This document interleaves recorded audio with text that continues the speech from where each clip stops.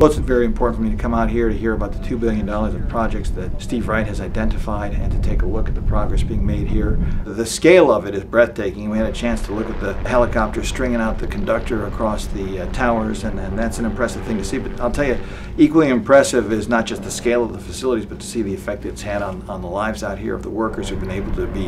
engaged in these good jobs, help building a, a new clean energy future for this country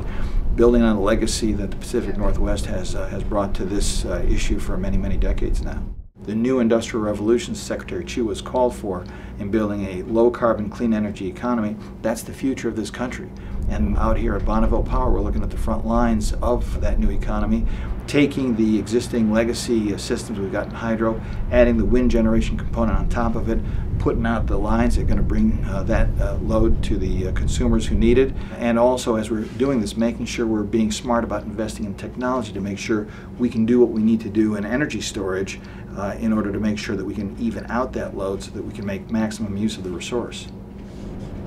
I think BPA will continue to play a very important role in leading us into the energy future.